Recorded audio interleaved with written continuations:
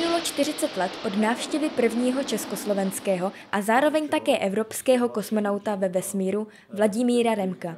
Výročí letu vesmírné lodi Sojus 28, který se navždy zapsal do dějin kosmonautiky, si do Brna kromě samotného Remka přišla připomenout i řada jeho kolegů a pamětníků. Velice jsem to prožíval, to už jsem prožíval potom tady v Brně, když jsem byl a můžu vám říct, že mi tady přišlo líto, že jsem se třeba nezúčastnil toho výběrového řízení.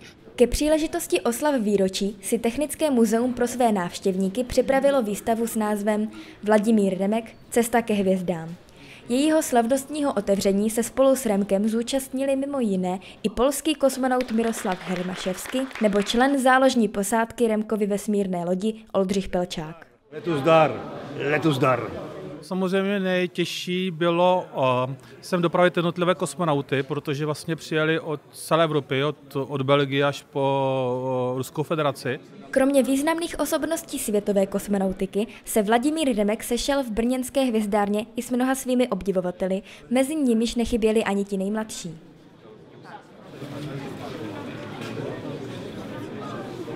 Nebylo to poprvé, co Remek brněnskou hvězdárnu navštívil.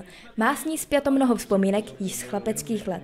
Začátkem 60. let jsem tady začal chodit do astronomického kroužku, zašel jsem tu start Gagarina, 13 let. Kdo by nechtěl ve 13 letech v takové době být kosmonautem? Vladimír Remek se tedy zde, v Brně, vrátil ke kořenům své kosmonautské kariéry.